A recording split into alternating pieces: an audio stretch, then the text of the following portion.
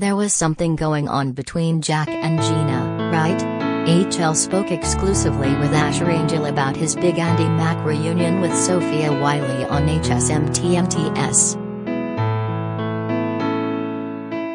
Gina got stuck in the airport on spring break during the July 9th episode of High School Musical, the musical, the series, and she crossed paths with a friendly and charming guy named Jack, played by Asher Angel. Jack helped Gina pass the time, and she even opened to him about her feelings. No one can deny that there was chemistry between Jack and Gina. So, does Asher see something in these two? I think so. I think there could be something, but the truth is we really don't know.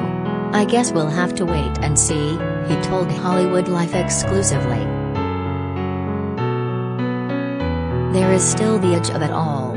Gina and EJ have grown closer in recent episodes, and it's only a matter of time before something happens between these two. Asher weighed in about whether or not Jack would approve of EJ for Gina. I think they would get along, Asher said. Jack is a super nice guy. I don't think he's the jealous type. He likes a little friendly competition. Related Gallery High School Musical, the musical, the series, exclusive photos. For Andi Mack fans, like myself, Asher's guest starring role on HSMTMTS is a huge deal. Asher and Sofia Wylie, who plays Gina, starred on the hit Disney Channel series together. Getting the chance to reunite with his former co-star was a special opportunity for him that he couldn't pass up. I almost got teary-eyed just because she's so amazing, Asher gushed about Sofia. She's just so professional and so good to work with and play off of, so getting to reunite after a couple of years and be back on set made me really happy.